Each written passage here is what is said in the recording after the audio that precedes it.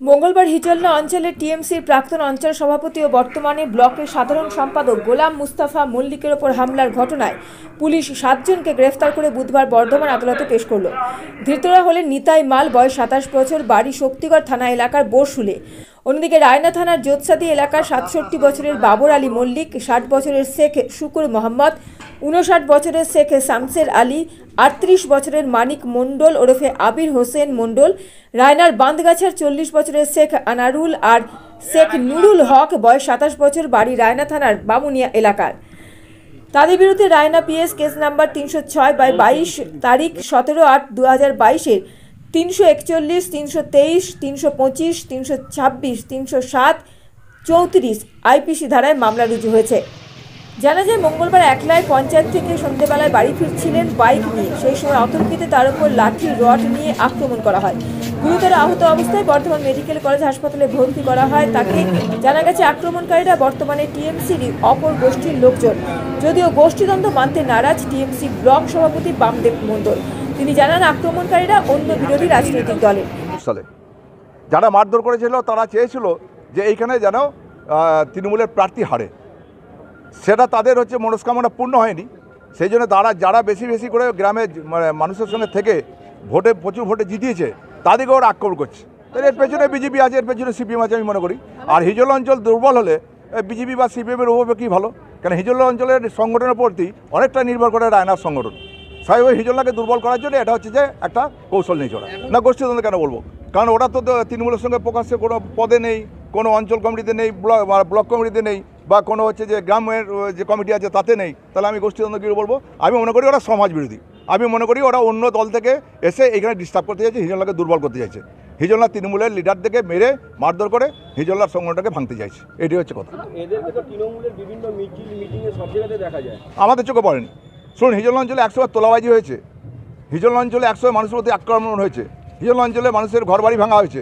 সেটা সেভ করেছে তাদের নিজেদের স্বার্থ সিদ্ধির জন্য।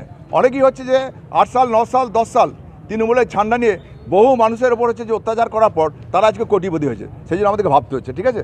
হ্যাঁ হ্যাঁ আমার এ ব্যাপারে বিজেপি নেতা মৃত্যুঞ্জয় চন্দ্র জানান বিধানসভার হিজনলা পঞ্চায়েতে যে রাস্তা রয়েছে সেখানে রায়না একের ব্লক সভাপতি বামদেব মণ্ডলের ঘনিষ্ঠ একজন গোলাম মোস্তাফা। উনি যখন শহর থেকে ফিরে বাড়ি ফিরছিলেন, ওই রাস্তার উপর তাকে দাঁড় করিয়ে পাঁচ ছজন শম্পা ধারা যিনি রায়নার বিধায়িকা এবং বর্ধমান জেলা সভাধিপতি, তার ঘনিষ্ঠ কিছু মানুষ দাঁড় করিয়ে রড দিয়ে মেরে নৃশংসভাবে দুটো পায়ের হাড়কে গুঁড়ো করে দিয়েছে।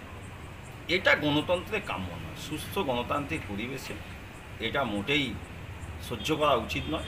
স্থানীয় প্রশাসনের কাছে আমি অনুরোধ করব ভারতীয় জনতা পার্টির পক্ষ থেকে, আপনারা এই ধরনের দুষ্কৃতীদেরকে প্রকাশ্যে ছেড়ে রাখবেন না, যত দ্রুত সম্ভব এদের কঠোর সাজা দিন এবং এদের কারাগারে রাখুন। আগামী দিনে পঞ্চায়েত নির্বাচন আছে, সেই নির্বাচনে এর প্রভাব পড়বে। সাধারণ মানুষ, তারা ভীত সন্ত্রস্ত এসব দেখে।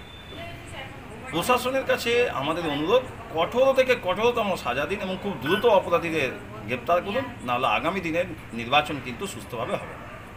ঘটনা পূর্ব বর্ধমানের রায়না থানা এলাকার। আহত টিএমসি নেতা গোলাম মুস্তাফা মল্লিক, রায়নার হিজলনার বাসিন্দা। রায়না এক নম্বর ব্লক তৃণমূল কংগ্রেস সভাপতি বামদেব মণ্ডলের ঘনিষ্ঠ। এদিকে রায়না বিধানসভার বিধায়িকা এবং পূর্ব বর্ধমান জেলা পরিষদের সভাধিপতি শম্পা ধারা জানালেন যে ঘটনার সঙ্গে রাজনীতির কোনো যোগই নেই। ঘটনা সম্পূর্ণভাবে পারিবারিক। স্কুলের কর্মী আমাদের গোলাম মোস্তফা মল্লিক সে কিন্তু কালকে মার খেয়েছেন বা মেরেছেন কে সেটা হচ্ছে আমাদের আহ, তনুয়ান মল্লিক। কাজে সেই জায়গায় দেখা যাচ্ছে কিন্তু মানে আপনারা খবর নিয়ে দেখুন খবর নিলেই আমরা দেখতে পাবেন যে জোরসাদিতে আমাদের কিন্তু মল্লিক পরিবার বলতে একটাই আছে। কাজে সেই একটা পরিবারই এটা ওদের জ্ঞাতিশত্রু। জ্ঞাতিশত্রুর জ্ঞাতি শত্রুর জোরেতেই মানে এটা ঘটেছে দুর্ঘটনাটা ঘটানো হয়েছে। যে ঘটনাটা ঘটানো মানে ঘটেছে, এটা খুবই আমাদের মর্মান্তিক ঘটনা। এরকম মতো ঘটনা মানে দেখা যায় না। কাজেই সে জায়গা থেকে পুলিশ, প্রশাসন, প্রশাসনের মতো কাজ করছে। প্রশাসনকে বলা হয়েছে আপনারা নিরপেক্ষ হিসেবে কাজ করুন। যারা যারা এর সাথে যুক্ত, তাদের জন্য প্রয়োজনীয় ব্যবস্থা নিতে বলে, বলা হয়েছে। এবং দ্বিতীয় যেটা হচ্ছে দু হাজার উনিশ সালে আপনারা জানেন হচ্ছে একটা ঈদের দিনে একটা মার্ডার হয়েছিল, বম বিস্ফোরণ হয়ে মারা গিয়েছিল। তো সেখানে মারা গিয়েছিল আনিসুর মল্লিক সেটা হচ্ছে আমাদের তখনকার বিধায়ক ছিলেন আমাদের বিধায়ক হচ্ছে নেপাল গুরুই। তখন সেই দুর্ঘটনা ঘটেছিল, সেটা এখন মানে কোর্টের আমাদের কেসটা করেছিল, আমি গোলাম মোস্তফা মল্লিক কেসটা করেছিল। তাদের, তার পক্ষে মানে তার বিপক্ষে ছিল মানে কুড়ি জনের নামে এফআইআর হয়েছে। তার মধ্যে দিকে তনোয়ার আছে, এবং যারা যারা ঘটনাটা ঘট- গতকাল ঘটনা হয়েছে, তারা তাদের মধ্যে কিছু জন আছে।